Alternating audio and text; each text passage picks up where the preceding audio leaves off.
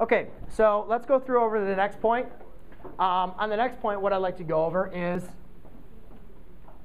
what happens then if we have a point that's not on the unit circle. So it goes back to what I've said over and over and over and over and over again. If you don't have a point that's on the unit circle, the next best thing that you have to do is do what?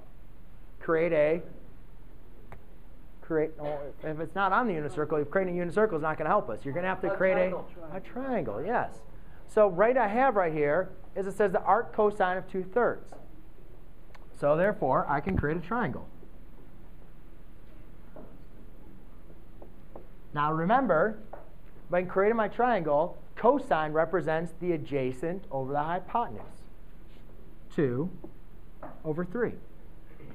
First of all, notice that these are not inverse operations of each other, right? This is tangent, that's cosine, right? Up here, you can see how they undid each other. These two are not going to undo each other. Then, um, so therefore, uh, for here, now that I have two points, I can use Pythagorean theorem to find my last or my opposite side. So I say 3 squared equals 2 squared plus b squared. 9 equals 4 plus b squared.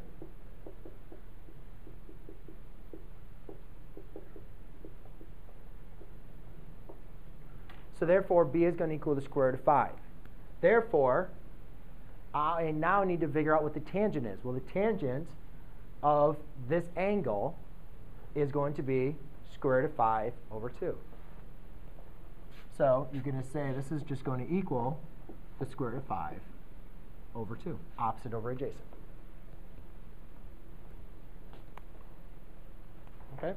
So to take the tangent, to take the tangent of that, you just find your create unit circle and then create. All right?